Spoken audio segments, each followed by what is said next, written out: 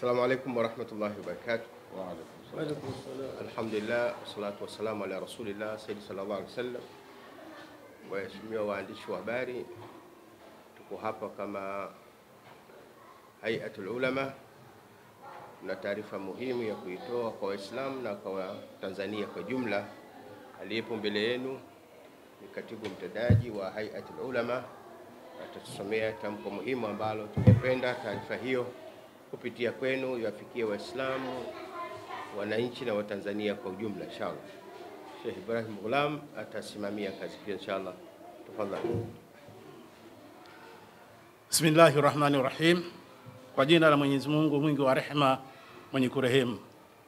Ifuatalo ni tamko la kuitisha sala ya kuomba mvua siku ya Jumatatu tarehe saba mwezi wa 11 Novemba 2022.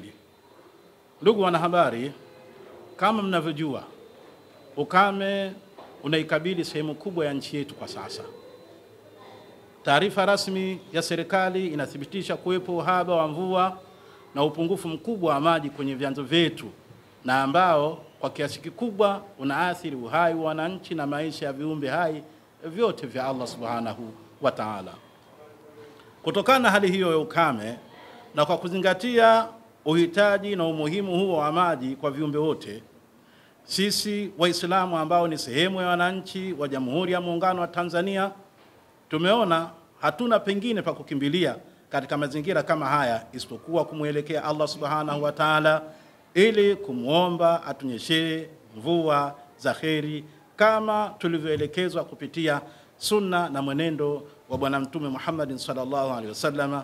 Allah amshushie rehema na amani pamoja na mitume wote waliomtangulia.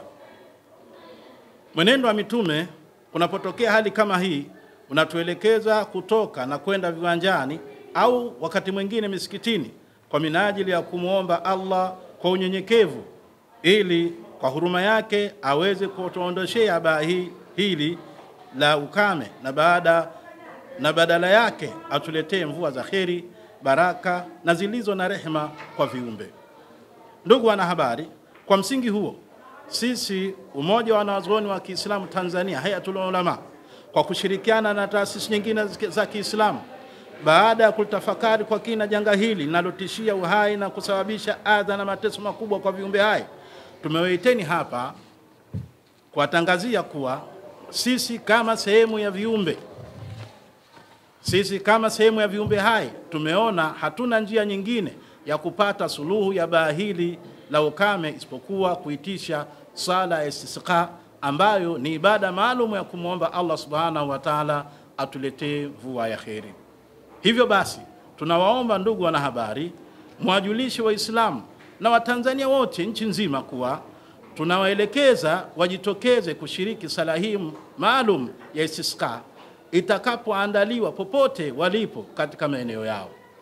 Aidha, tunawaomba muwatangazie Waislamu kuwa kwa hapa Dar es Salaam insha Allah sala hii itafanyika kwenye viwanja vya Mnazi Mmoja siku ya Jumatatu ya tarehe saba mwezi huu wa Novemba kuanzia saa mbili za asubuhi hadi saa nne kamili za asubuhi. Pia kutokana na umuhimu wa sala hii tunawaomba waajiri waliopo katikati ya jiji waruhusu wafanyakazi wao kuweza kushiriki katika ibada hii kwa kipindi hicho kifupi. Vile vile tunaomba mtusaidie kuwafikishia taarifa mahatibu wote wa sala ya Ijumaa hapa nchini, kuwahimiza na, kuwa, na kuwataka pamoja na mambo mengine hotuba zao za sala ya Ijumaa zilenge katika kuwakumbusha waumini umuhimu wa ibada hii adhimu ya kuomba mvua na kuwahimiza wale waliopo katika jiji la Dar es Salaam kushiriki katika ibada hiyo siku ya Jumatatu.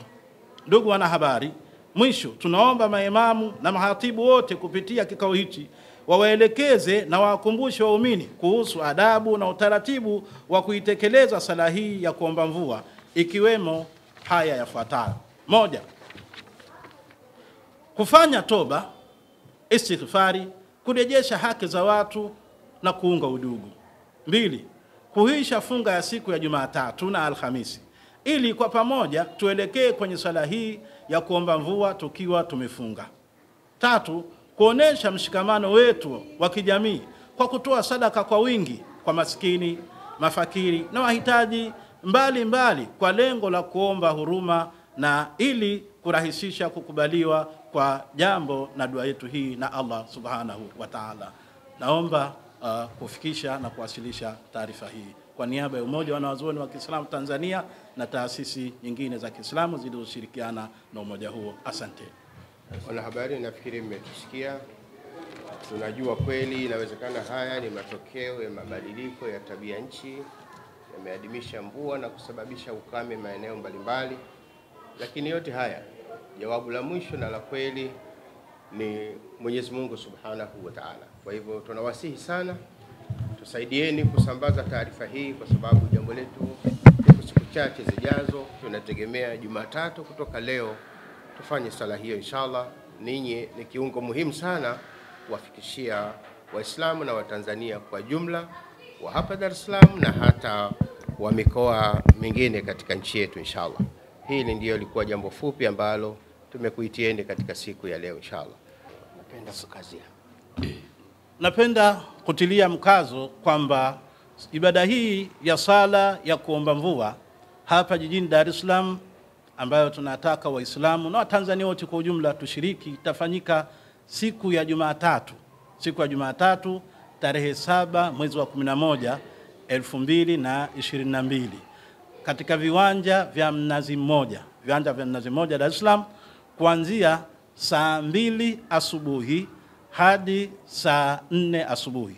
Muda wa sala, ibada ya sala ni kipindi hichi kati ya saa mbili asubuhi hadi saa nne kamili za, za asubuhi. Na mambo ambayo kwamba ni muhimu kuyazingatia eh, ni kwamba wakati tunaliendea suala hili la swala ya istisqa, basi ni vizuri sana kila mmoja wetu kutubu kwa Allah subhanahu wa ta'ala, kuomba toba kwa makosa ambayo aliyoyafanya. Yako makosa mtu aliyoyafanya anayafahamu, yako makosa ambayo aliyafanya hayafahamu, lakini yote haya tumtake Allah subhanahu wa ta'ala msamaha, kwa sababu baadhi ya haya ambayo kukosa mvua inawezekana ni kutokana na matendo ambayo sisi tumeyatenda na kutaka istighfari, lakini vile vile suala la kurejesha haki za watu. Kila ambaye ana haki ya mtu yoyote ule amedhulumu haki yoyote ile, basi hakikishe kwamba anarejesha haki hiyo kwa anayestahiki. Lakini vile vile suala la kuunga udugu, leo hii kumekuwa na tatizo kubwa kabisa la watu kuhasimiana,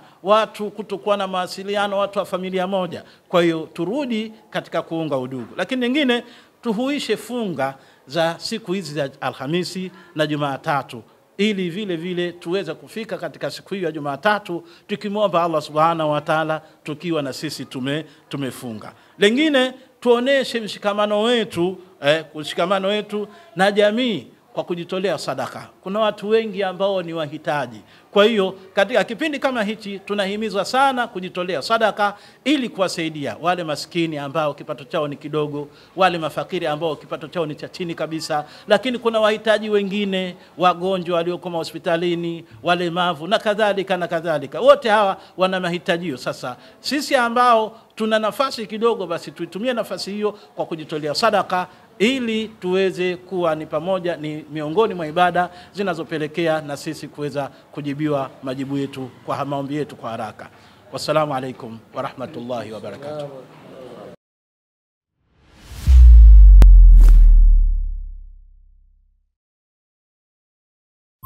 Kishki TV, nuru ya dini yako.